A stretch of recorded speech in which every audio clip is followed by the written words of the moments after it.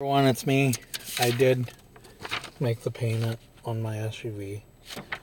I'm now getting ready to head to my appointment. I I got the directions off of MapQuest, but I didn't get them from this location.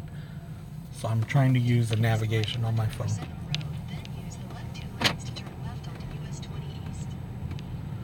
And it's telling me I need to turn left, which and it's saying I'll be there in like five minutes. Use the left two lanes to turn left onto US 20 East. Because I got the navigation pulled up on my phone. The only reason why is because I used the directions from the house, and then I happened to realize, oh, that's right, I have to make the payment on this. So I'm going to probably be there probably about 40 minutes early.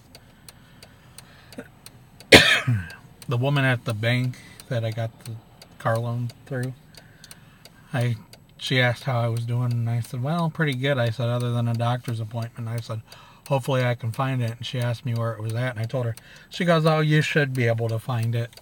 She said, "It's not that hard." She says, "You're only like a mile away from where you need to go."